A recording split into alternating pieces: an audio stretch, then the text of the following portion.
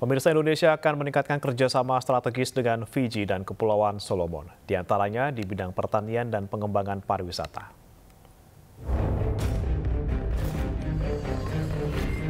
Menteri Luar Negeri Retno Marsudi merampungkan rangkaian kunjungan kerja dua hari ke Fiji dan Kepulauan Solomon pada Selasa dan Rabu. Ini merupakan kunjungan kerja pertama Menlu Retno ke wilayah Pasifik selama pandemi COVID-19.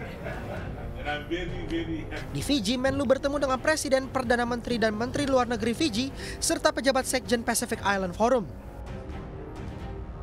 Berdasarkan data terakhir dari Kementerian Luar Negeri, perdagangan bilateral dengan Fiji dari Januari hingga Juni 2022 meningkat 44 persen dibandingkan periode yang sama pada tahun 2021 dan sudah mencapai lebih dari 20 juta dolar Amerika Serikat.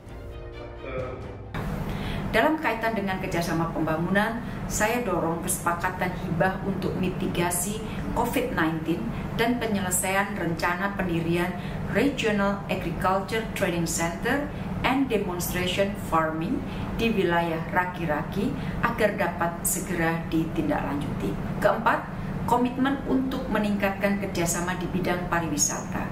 Dalam kaitan ini, kedua negara berencana untuk menandatangani MOU on Tourism Cooperation di Bali pada akhir bulan ini. Dari Fiji, Menlu melanjutkan perjalanan ke Honiara, Kepulauan Solomo bertemu dengan Perdana Menteri dan Menteri Luar Negeri Solomon serta wakil diaspora Indonesia.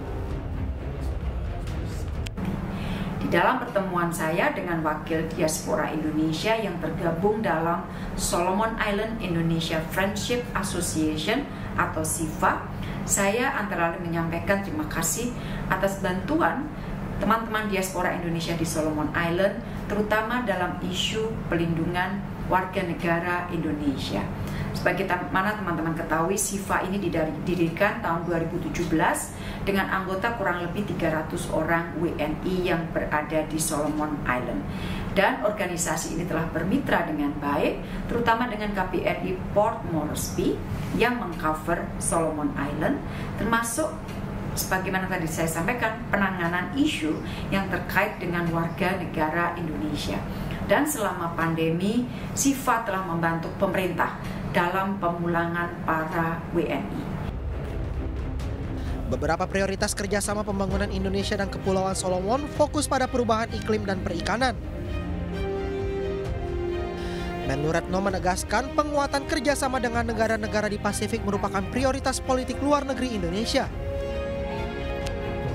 Selain kerjasama pembangunan, Indonesia juga memperkuat keamanan laut dan pengembangan pariwisata di perairan Pasifik.